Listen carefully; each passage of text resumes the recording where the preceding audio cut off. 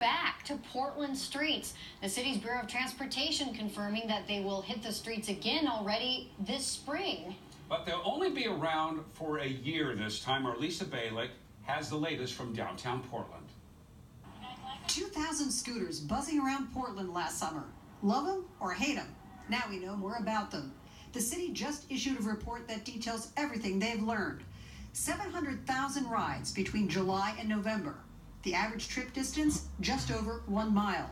Most of those using scooters were headed to a destination, 71%. 29% of users were just on them to have fun. As for emergency room visits, 176 scooter related. 22 of those were involving a scooter and a vehicle. There were some consistent problems they found. PBOT says 90% of riders they observed were not wearing helmets as required by law.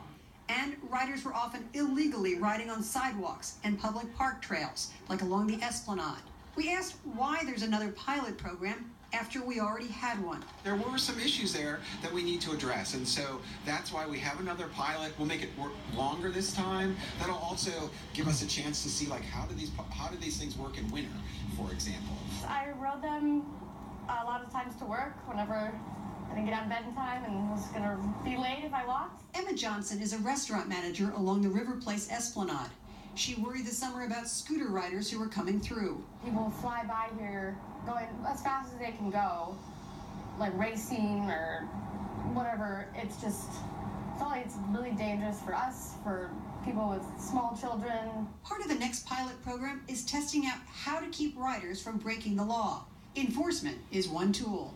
Like when one person gets a ticket, it spreads, like the news spreads pretty quickly. That's Lisa Balick reporting. Well, the